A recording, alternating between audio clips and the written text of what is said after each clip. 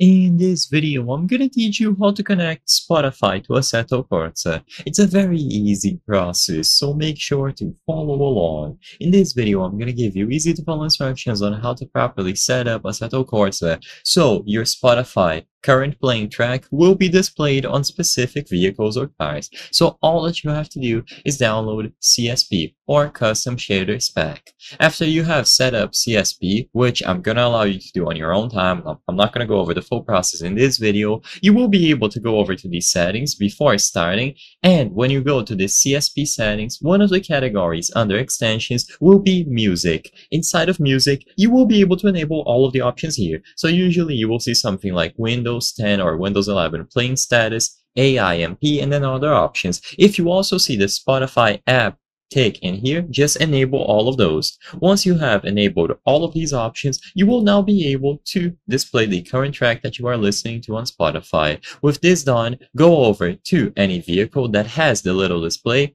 and when you start playing music on the background, as long as you have Spotify or any other application running, the current song being played on your Windows OS will be displayed inside of the window on that vehicle. So all that you have to do is play stuff on the background. If it doesn't work right away, you can try verifying to see if you have the latest version of CSP and trying to open up Spotify before running Assetto Corsa. As long as you start Spotify before running Assetto Corsa and you have a track playing at the moment with a compatible vehicle that has the display, you will be able to get this process done and Spotify the current song that you are listening to will be displayed inside of Assetto Corsa. You can also set up keybinds to skip the song, go back to the previous one, pause, and so on.